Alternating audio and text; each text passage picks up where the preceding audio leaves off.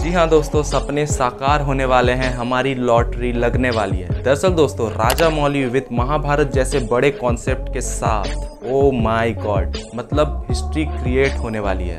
हाँ ठीक है, अभी नहीं, कुछ सालों बाद, लेकिन होने तो वाली है। दरअसल दोस्तों, जब से राजा मौली ने यह अनाउंस किया है कि वो आज नहीं तो कल महाभारत के काम को शुरू ज़रूर करेंगे। वो कहते हैं कि हर मूवी के साथ मैं कुछ ना कुछ सीख रहा हूँ, जिसके बाद मैं महाभारत जैसे बड़े प्रोजेक्ट को लेकर शुरू करूँगा।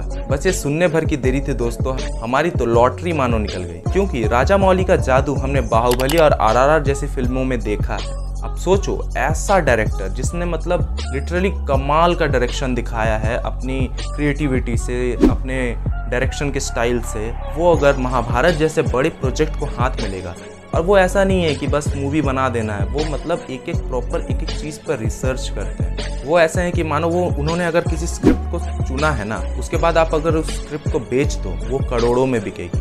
क्यों? क्योंकि अगर राजा मौली ने इस स्क्रिप्ट को सेलेक्ट किया है तो इस स्क्रिप्ट में कुछ तो बात होगी। लेकिन दोस्तों, ये फ़िल्म आने में अभी बहुत समय बाकी है।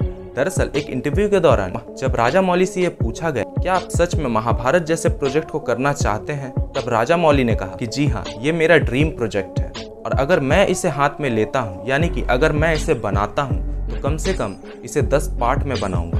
कम से कम एक साल तो मुझे सिर्फ़ इस पर रिसर्च करने पर लगेंगे।